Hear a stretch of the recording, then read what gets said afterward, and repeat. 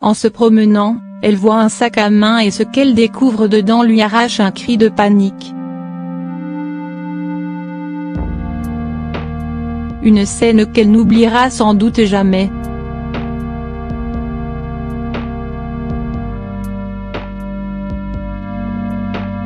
Il y a quelques jours de cela, à Londres, une femme a fait une découverte choquante au beau milieu de la nuit. Il est environ 2 heures du matin dans la capitale anglaise quand une femme passe devant une boutique fermée. Là, son regard est attiré par un sac à main rouge qui est accroché à une poignée de porte.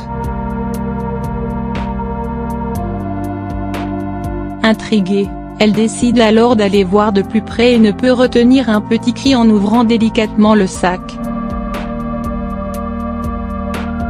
À l'intérieur du sac se trouve un minuscule chiot âgé de quelques semaines, les pattes attachées nouées avec un élastique à cheveux. Mais ce n'est pas tout.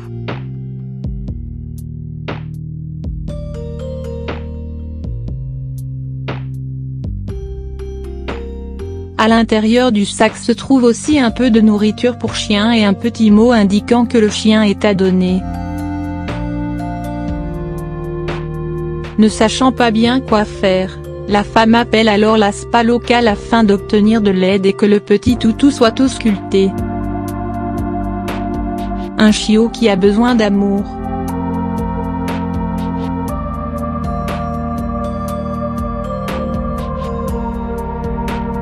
Une fois emmené par les volontaires de la SPA, le petit Radley a été dirigé vers l'infirmerie où il a été examiné. Il a alors été conclu qu'il n'était âgé que de 8 semaines.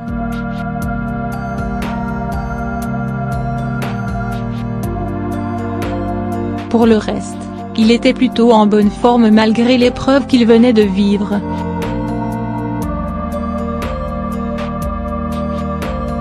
Il n'y a absolument aucune excuse pour laisser un jeune chiot vulnérable comme celui-ci dans des circonstances aussi terribles et Radley a de la chance de ne pas être plus gravement blessé. Extrêmement sympathique et enjoué, Radley a rapidement fait craquer tout le monde au refuge. Il profite désormais de cette seconde chance entouré de plein de copains.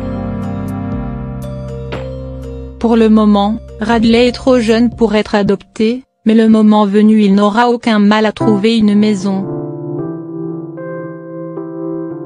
En attendant, la SPA mène toujours l'enquête pour avoir des informations au sujet de la personne qui a décidé d'abandonner Radley d'une façon aussi cruelle.